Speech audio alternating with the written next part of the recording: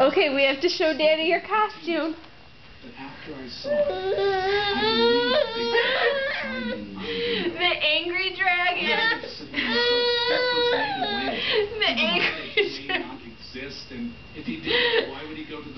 With the belly and the wings and the tail. But look at those feet.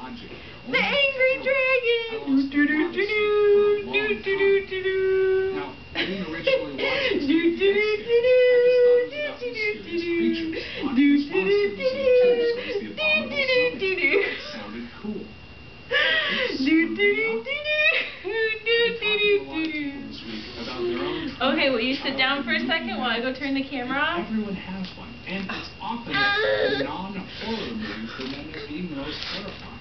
Stuff from kids' movies.